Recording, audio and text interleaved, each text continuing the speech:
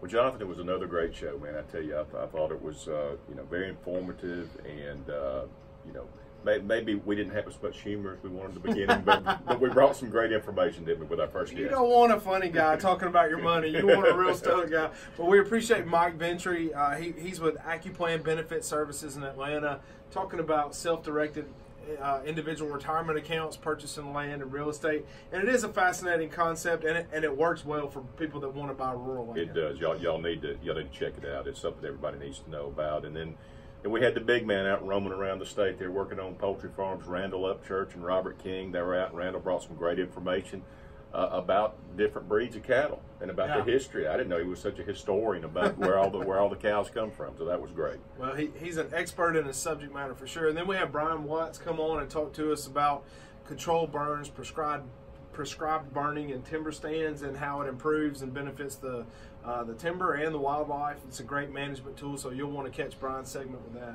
Yeah, and we always appreciate your questions at uh, info at thelandshow.com, info at thelandshow.com. Got Sam from Talladega talked about. He said, what sort of value does my big creek on my 80 acres add to my property? And we, we kind of dove deep. We really needed some more information, Right. so hopefully we'll be able to get with, with Sam on that. But, but waterfront can be highly variable, and we talked about that. Yeah, for sure. And then closed it out like we always do with the wild man Tim Baker. He was stomping around in the Bankhead National Forest and uh, up there looking today. And then he was talking sweet to those turkeys. You'll want to hear Tim do a No do call his, with do his his calls, just a, just a natural call. And man, I enjoyed doing the show. Uh, as always, a, a good show. And uh, you know, I, I hope y'all will join us again next week for more of the Land Show with Dave and Johnny.